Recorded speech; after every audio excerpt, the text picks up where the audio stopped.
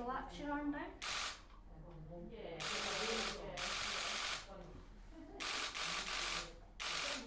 Oh. Okay, want to hold that? No problem.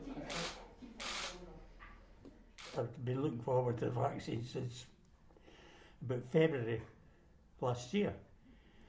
But uh, they, they did produce it quicker than I thought it would be. Obviously, they just threw a lot of time and a lot of money at it. And I think anybody has any fear of having the vaccine, it's not a doctor, it is a psychiatrist. I, I've spoke to people who say, oh, I wouldn't have it, but I can't see the sense in that.